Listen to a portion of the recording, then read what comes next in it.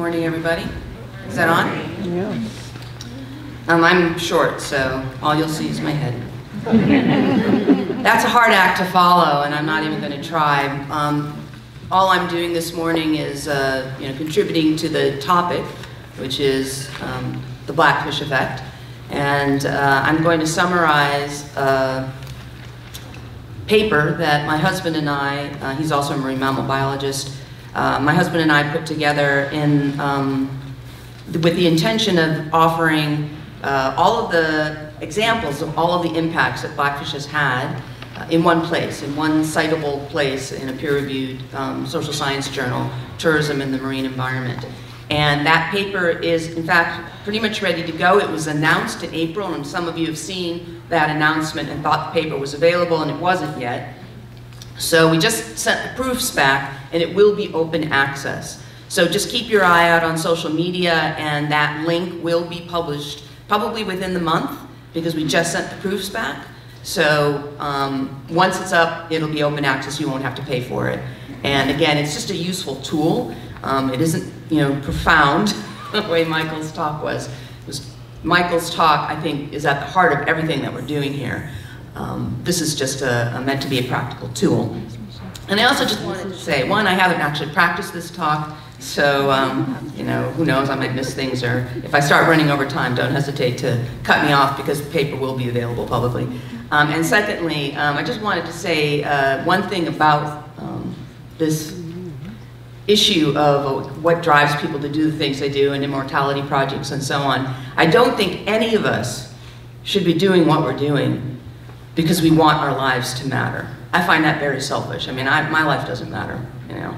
None of us do. We are all going to be worm food. right? Um, and one day the sun will blink out and none of it will matter. We should be doing what we're doing because we need to look at ourselves in the mirror every morning. Yes. We should be doing what we're doing because it's the right thing to do and for no other motivation at all. Right? And, and that actually is helpful in a weird sort of way because it really doesn't matter in the long run, right? the cosmos does not care what we're doing here on planet Earth. We're actually fucking it up, you know, so I hope they're not even watching, you know. But um, the fact is, is that we, um, you know, because it doesn't matter, it is some solace to me to know that the only reason I need to be doing this is because I have to look at myself in the mirror every morning. Right, so again, this is, this is just meant to be a useful tool to you. As some of you folks know who've been to previous superpods, you know that I have spoken before on policy and like how the laws work and how regulations work and how the federal government interacts with state governments and so on. So my talks tend to be very pragmatic. I'm a very pragmatic person. This is Tilikum, as you know. Um, so this is just um, uh, uh, the paper itself actually sort of um, summarizes the film, and I'm not going to do that here because some other folks will be doing that. And also, you all watched it last night, and others of us have watched it 25 times, and um, and we all know what was in the film and why it was made. Uh, you know, a trainer was killed, and then we find out another trainer was killed only nine weeks earlier, and it just generated a firestorm of uh, attention to this issue that I, who've been doing this for 25 years, have no clue why. Um, this was a perfect storm, and I'm really not sure why. I'm not, um, I I'm really grateful for it, but to this day, eight years after Dawn Brancheau was killed, I still don't know why. So everybody knows, of course, that this is Tilikum. He um, was held in, at SeaWorld Orlando. I took this photo from the, from the Space Needle sort of thing that's there, the sky beam. And um, the one thing about uh, sort of the immediate impact after this killing occurred that I wanted to mention, as a, again, as a pragmatic um, element, is that there was, a, there was a citation issued by the Occupational Safety and Health Administration um, that found SeaWorld basically guilty of negligence for not keeping their employees safe. And as the OSHA inspector put it, no employee should go to work and die. And so, you know, a citation was issued. The tactical error, the most profound error that SeaWorld made at that point was they sued the Occupational Safety and Health Administration, the federal government, to try to overturn that citation. You know, just from a, again, pragmatic standpoint, they should have just sucked it up and lived with it because it was only a $75,000 fine. That's chump change for them, even today. And, and so why did they do that? Well, they did it because they couldn't let the citation stand. They couldn't let it stand that they were guilty of, of anything, let alone negligence. And so they made this huge tactical error of suing the federal government to try to overturn that citation. citation. And as everybody knows, um, who has ever been involved in any kind of lawsuit, there's a process called discovery. And that's why SeaWorld stayed out of court all those other years. Whenever a trainer, some of the former trainers here would know, uh, might sue for an injury, they settled out of court. And it's because they did not want discovery. And so for some strange, stupid reason, they went ahead and sued OSHA over this citation, and discovery is what killed them. All, right. All this documentation that we had suspected existed and occasionally knew existed because somebody snuck a brown paper envelope out of the park, we found out it was true. They really did cover things up, and they really were um, doing severe inbreeding with mothers and sons, and I mean, all sorts of horrible things came out during discovery from their perspective. From our perspective, it was a treasure trove. So right after that um, uh, incident and, and, during the hearing, both Gabriela Cowperthwaite and David Kirby were, were moving in parallel to write Death at SeaWorld and create Blackfish. And the book came out first because, you know, post-production takes a while. Um, but then nobody reads anymore, so unfortunately it didn't have quite the impact that we all wanted it to have. But then Gabriela released Blackfish and everything changed. And I'll tell you when it changed. It wasn't at Sundance. It wasn't in the film festival circuit. It wasn't when it was released in the theaters. It was when CNN aired it. And millions of people saw it. All right. By the end of 2013, 21 million people at least had seen Blackfish. Then it went on to Netflix, and you can ask your grocery store clerk, and she'll go, "Oh yeah, I saw Blackfish." it's, it, that's what was really effective and different about the Blackfish effect. But again, as somebody who's actually witnessed pre-Blackfish effect and post-Blackfish effect, and have been, have been deeply involved in the issues ever since, um, well, not since God was born, but you know, a long time ago. Um, this is different. And for anybody who thinks things are going fast enough, oh, they're going way fast, okay? at least in the West. And then some folks are going to talk more about what's going on in the East. And there's some documentary film crews here who are very interested in what's happening in the East, Russia and China. And, and that's a different story, and it's one that I think is uh, potentially more hopeful than you might think. Um, but nevertheless, um, what I'm talking about is what's happening in the West. All right.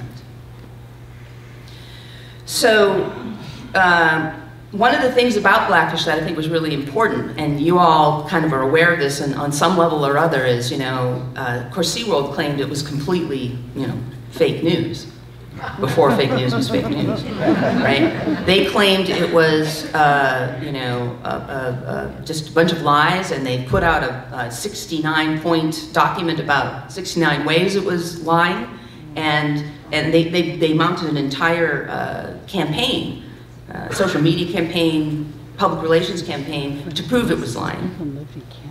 But they never sued for libel. And in fact, it was having a material impact on their, on their economic outlook. And they're now in trouble because they tried to claim that it didn't. And there's a Securities and Exchange Commission investigation and lawsuits from shareholders because in fact they knew very well it was having an impact on their financial outlook. But they were arguing during this phase, right after the movie came out, that it was all lies, and that was why they weren't sued, you know, and that was, you know, why they should have sued, but they didn't. And it's because, in fact, it wasn't a bunch of lies. And Gabriela Cowperthwaite defended her film very, very ably. And um, in fact, uh, we go into one really solid example of how it wasn't a bunch of lies, which is the whole um, annual, um, annual survivorship rate, survivor uh, longevity debate. And it was very careful um, to uh, include, Gabrielle as a director was very careful to include quotes from her many interviewees uh, that you know, indicated these animals really do live longer in the wild, they really don't live as long in captivity. Um, and, and again, SeaWorld had no basis. You, your defense against a libel lawsuit is the truth. if you're telling the truth, you aren't committing libel, even if you are harming the financial outlook of, of a company or something like that. And so they never did sue um, because they would have lost. And so, again, you know, when you present that to the SeaWorld supporters, they brush you off, but it's really quite an incontrovertible fact that they never, they never pursued this course. So, there you go. Yay. Now notice David, David mentioned that, you know, there's been this uptick, but, it, you know, look at, it's not that big of an uptick. Um, they're still half, at half of their um, top level. They were at like $39 soon after their IPO, and they're still only around the 20 to $22 mark.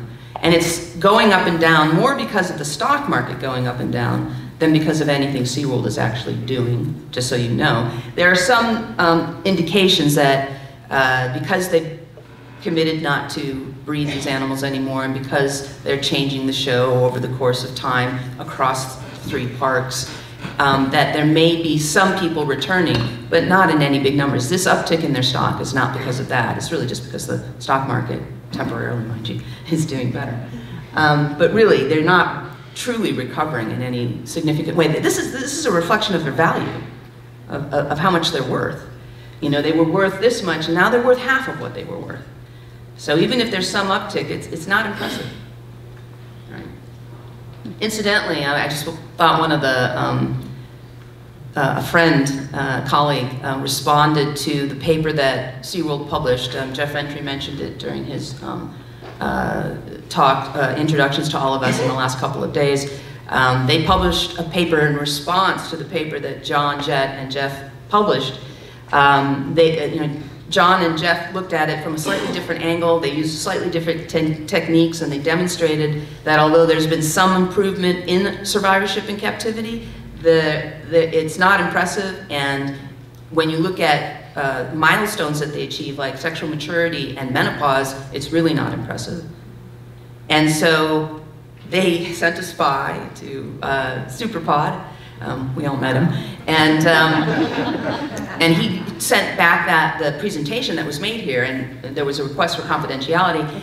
And uh, a year before it was actually published, and they busily got to work, and it, it shows how rushed their prep was because they got people who didn't know anything about what they were doing to write it, SeaWorld staff, to do the writing, a veterinarian, what does he know about statistics sort of thing. And, and then they rushed it because they wanted to get it out at least at the same time as um, John and Jeff's paper was going to come out. And essentially what happened was, and this is the way to look at it, because it's actually a very bad paper and it never should have gotten through peer review, but it's out there. We have to deal with it. So this is how I recommend you refer to it if you have to. And I, I cite it in my publications now in this context. What that paper showed, this is the SeaWorld paper on longevity, what that paper showed is that SeaWorld whales in concrete tanks are surviving just as well as the whales out in the Salish Sea. David just described to you that, that they're not doing very well, are they? They're critically endangered. They're starving. That's nothing to write home about. So that's how I recommend that you refer to it. Congratulations, SeaWorld, your whales are surviving just as long as an endangered and threatened population of whales. Yay! You know, and they don't see that, they don't get that. They literally said, our whales are surviving as well as whales in the wild. The whales they were comparing them to are these critically endangered whales. And the threatened whales up in the northern resident community. It's nothing to write home about. So, think, oh yeah, still on this slide. Companies like Southwest Airlines ended their long-term par partnerships. Sports teams like the Miami Dolphins stopped connecting themselves with um, SeaWorld. Attendance, revenue, stock all dropped.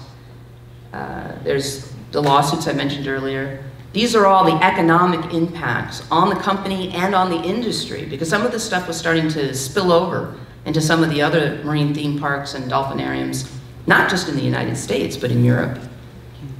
The Western world was seeing a blackfish effect, and it was uh, a heightened awareness of the controversy? Because everybody was seeing blackfish. And for a lot of those people, they thought the controversy started in 2013, which is kind of charming, but, um, or even 2010 when the trainer was killed. And like I said, that That always amuses me since I've been doing this for 25 years, but the fact is, is that they were aware for the first time on a very broad scale. In 2012, this is an interesting blackfish effect because it's more subtle and yet more obvious. In 2012, the Georgia Aquarium applied for an import permit for 18 wild-caught belugas from Russia. It's the first time a uh, dolphinarium in the United States was asking to import uh, wild-caught cetaceans from abroad in 20 years. Right? For 20 years, they'd stayed away from wild captures in U.S. waters and from imports of wild-caught whales because they recognized that that was a line that the public wasn't comfortable with them crossing anymore. After the horrible controversy of what happened in 1976 here in Puget Sound with that capture that resulted in the state prohibition on captures, and the controversy of the final capture in the United States, which was in 1993, of some Pacific white-sided dolphins off the coast of California, and one of the dolphins died within 15 months in the facility it had been placed in. That controversy really um, made it untenable for facilities to use wild-caught animals. They had to breed them in, on their own. They had to, you know, start a breeding program that was successful because that was the only way they were going to replace animals that died without alienating their customer base. So for the first time in 20 years, right in the middle of the, black, uh, the sort of pre-blackfish effect, post-dawn, all right, Georgia Aquarium, in partnership with SeaWorld and the Shedd Aquarium, decides to try to import these wild-caught belugas. Up until that point, 2012, the US government had never denied a public display permit. Never. Not since 1973, when public display permits were required, until 2012. Anytime a facility had applied for a permit to import an animal, anytime a public display um, uh, facility had applied for a permit to capture an animal, they were granted. Now, some of those were granted illegally. The government breaks its own laws all the time. That's why we sue the government all the time, because they're always breaking their own laws. So some of those permits were illegal, and the NGO, the non-governmental organizations, sued for, uh, sued when those permits were issued, and sometimes they won and sometimes they lost. But sometimes they won. So it's not that they were always legal to issue those permits. It's just that the federal government had no political will to deny them. If they were going to get sued, they wanted to be sued by us than by the industry. Because the industry was more powerful politically and gave them more grief, right? So the permit application went in in 2012, but Blackfish came out in 2013 and the decision to deny the very first public display permit ever was made post-Blackfish. And I firmly believe, again as a witness, as a witness of 25 years, that was a Blackfish effect. They felt for the first time that they had political cover to weather any lawsuit the industry levied against them if they denied the permit. And they did, because again, Georgia Aquarium sued.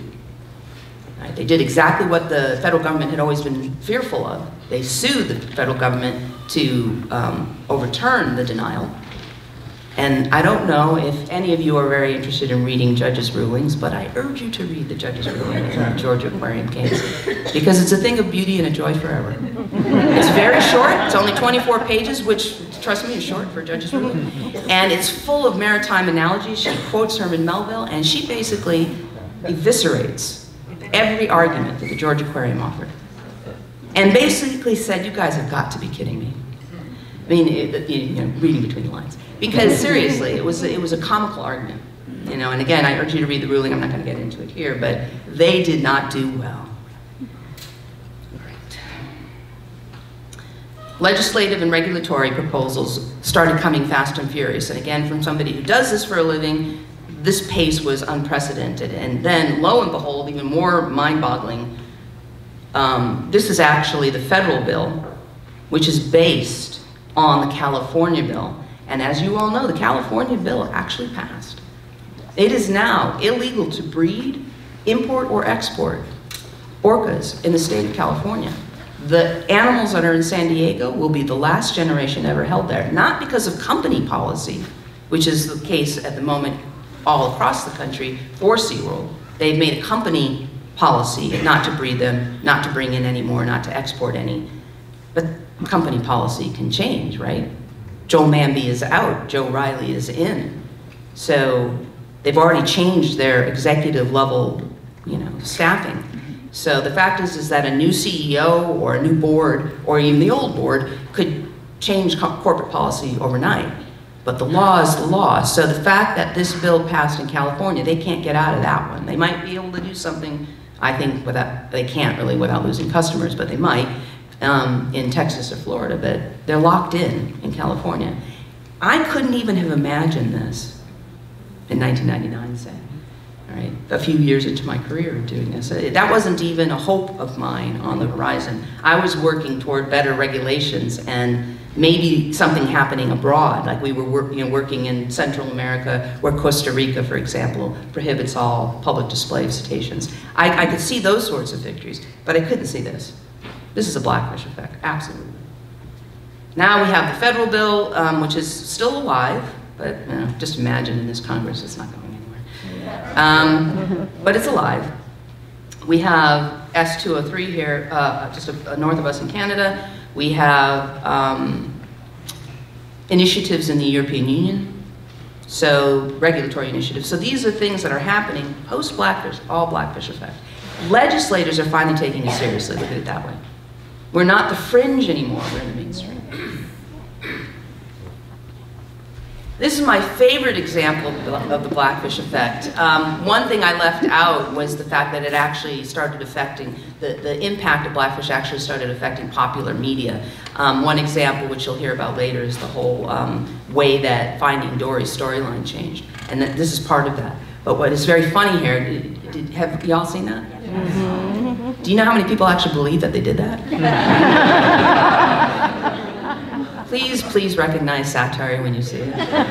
Um, but this is The Onion, and The Onion's just started doing SeaWorld stories left, right, and center. There's been more than a half a dozen, I think. Not quite a dozen, but a lot, like 10 or something like that. Hilarious. Burlesque. Uh, one has an orca you know, jumping out of the water, wearing a burlesque, like French can-can outfit, you know, and this is the new show. And um, uh, by the way, some folks thought that was real too. Um, so John Oliver, Jon Stewart, Stephen Colbert, Trevor Noah now, they do SeaWorld jokes all the time. And once you become the butt of a joke, when your reputation is built on mom and apple pie and expertise and we're the source of all things educational and research and conservation, uh, you're kind of losing it. You're, and, and this is how I, I usually um, characterize it. My analogy is SeaWorld had the mic for 45 years. And we couldn't get the mic away from them no matter how hard we tried. We were literally shouting with no amplification on the fringes of the stage, at best. Not only did SeaWorld drop the mic in their response to Blackfish because they just did such a poor PR job, but they threw it to us. They gave it to us. And now we have the mic. We are the mainstream. They're on the fringe. And then, of course, SeaWorld actually, as a corporate policy matter, agreed to end the breeding of their orcas, which means that in the three parks in the US, if they don't change their corporate policy, uh, the animals that are in captivity now are the last generation. They will, within 30 years or so, say, not have these animals anymore, and their business model will actually have to shift a bit because it's based on Shamu. The icon of their, of their corporation is a, is a dorsal fin. So we'll see, you know, uh, whether they change their corporate policy now that Joe Manby's out. And of course, HSUS, their partner, the Humane Society of the United States, also got caught up in the Me Too movement and the executive level there has changed as well. So we'll see what happens when, you know, time passes, but at the moment, it's still the case. It is um, the reason, and Ingrid will get into this, that SeaWorld abandoned their whales in Tenerife, you know, at Loro Parque, because Wolfgang Kiesling just wouldn't toe the line. He bred Morgan. He wouldn't stop, and they couldn't get him to. Careful who you get in bed with or make deals with, for God's sake. Um, and that was a deal made between August Busch and Wolfgang Kiesling of Loro Parque. And August Busch, of course, is long since gone, 2007, 2008. right? So they couldn't get him to, to, to do what the corp, new corporate policy said. And so instead of repatriating their whales, which they had every legal right to do, they dumped them. And I really think that's a line of advocacy that we need to pursue a little bit more. We need to shame them for abandoning their animals to a park that really is not good, you know, and, and a system um, in Spain which is really quite corrupt. And a man who's really quite megalomaniacal, you know. I think we really need to uh, push that a little bit more. I'm not quite sure how yet, but, you know, think about that when you're doing your advocacy. SeaWorld, how could you abandon your children, you know, in, in, in Spain? So this is sort of the new, um, more palatable uh, approach that some of us are taking.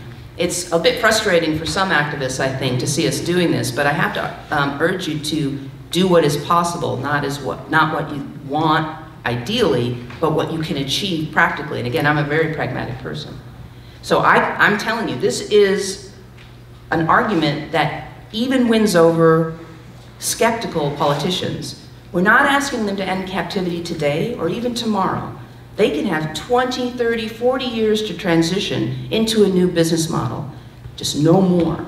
What they have, they have to work with, with what they have until they age and die. And the last one, like the Vancouver Aquarium, when that last white-sided dolphin dies, they're done. And again, that's their decision. It's not the law yet in Canada. But they could live with that. Well, John Nightingale couldn't, he's retired, but, but the Vancouver Aquarium Board could live with that.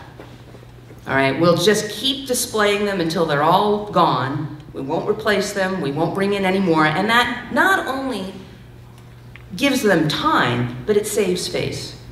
They don't look quite like they completely caved to the crazy activists, right? Politics is the art of the possible. Don't make the perfect the enemy of the good, please. Right? That's how we're making so much progress because enough of us aren't doing that. We are going with the good and we're making a lot of progress. And so what's the solution for those animals who are still in captivity and they're not going to be replaced when they die, and that's great for the future whales and dolphins, but how do we help the current whales and dolphins? The Kiskas and the Lolitas and the uh, Corkies. How do we do that? Well, I, am again, a very pragmatic person, and I'm sorry to depress you, but for some of them, we will not be able to do that. They're going to die in a box. Just wrap your head around that, because again, to stay in this for the long haul, you have to be realistic. You have to, you know, take the bad with the good and, and, and not burn out? But we are also working on that. We're doing our very best to come up with viable solutions for the welfare of the current generation so that they don't have to die in a box. And I'm not going to get into great detail because Lori will talk about this and, and others will talk about this, but you know, sanctuaries, sanctuaries, sanctuaries. And there are many projects right now, at least five that I'm aware of, and a few that are a little bit more obscure but may, may make progress. That, so at least eight, I think, that are, are on the books right now, are, are in the drawing room, um, drawing uh, table stage, or in fact are moving forward quite rapidly in, in one case. So um, if we get any sanctuary, anywhere, online, successfully, I think, you know, if you build it, they will come. I think the, the pace will pick up.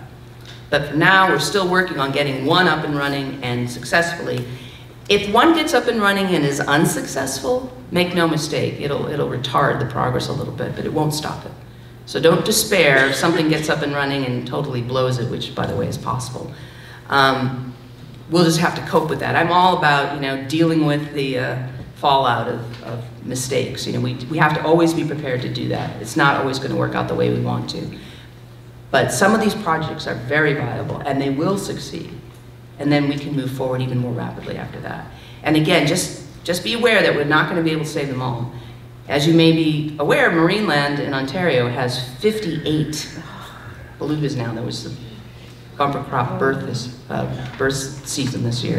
And they, I think seven belugas were born all at once kind of thing. Eight, there you go. So there's, there, um, there's way too many belugas at Marineland. Um, there's always too many belugas at any place, but seriously, 58 is ludicrous. And John Holer just passed away, just died, and what does that all mean? We don't know yet. We might not be able to save all of those belugas. We're certainly not going to be able to save all the animals in China. Again, I'm not going to get into that because some others will. But let's see how that works out. I'm, I'm really hopeful. And uh, that's it. I'm done. So thank you very much.